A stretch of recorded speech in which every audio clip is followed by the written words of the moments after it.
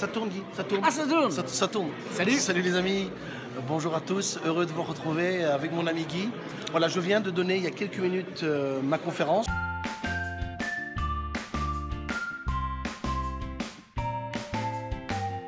Euh, ma conférence Ah, dans l'amphithéâtre. il- il a déchiré.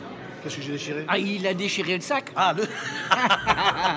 j'ai déchiré le sac. Il a déchiré le Et sac. alors donc bien entendu, euh, comme euh, j'ai pour habitude, j'ai fait le, le sketch du sac poubelle, le sac à problème, le sac à dépression nerveuse et à burn-out. Et alors ce qui est intéressant, c'est que maintenant on a pu parler avec, euh, avec plusieurs jeunes, jeunes hommes et jeunes femmes ici, qui aujourd'hui m'ont affirmé qu'ils ne sortiront plus les poubelles avec la même, Ah la oui, même ça, idée. ça, c'est sûr. Et donc euh, métaphoriquement, ils vont savoir qu'à chaque fois qu'ils sortent les poubelles, c'est aussi un peu leurs problèmes qu'ils mettent à l'extérieur de la maison et qu'ils s'en vont, qu'ils ne peuvent plus récupérer. Alors quand on parle de sac de poubelle, il faut quand même savoir que Michel a changé de sac. Il a pris maintenant un sac industriel. Et à chaque fois qu'il fait son, son histoire du sac, je me dis, pourvu qu'il arrive à s'en sortir, parce qu'on a l'impression que c'est quand même très difficile à déchirer. C'est fait exprès. Je me suis pris un sac industriel parce qu'il est plus dur et il faut qu'on le voit que ce soit plus dur. C'est pas, voilà, c'est- vrai. Quand je dis que c'est dur, c'est vraiment dur d'en sortir. pas, hein.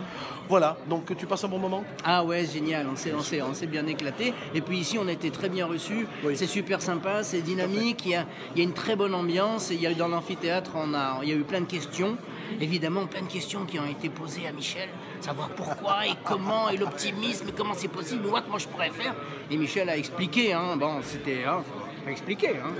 Les amis, n'oubliez jamais, quand vous avez des sacs à sortir, sortez-les. N'y pensez plus. Et surtout, essayez de tirer la meilleure leçon possible de ce que vous vivez, qui peut être douloureux en ce moment.